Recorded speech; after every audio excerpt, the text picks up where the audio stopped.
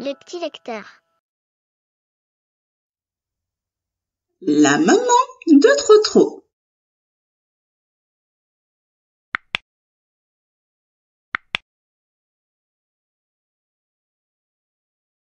Ma maman s'appelle Anna.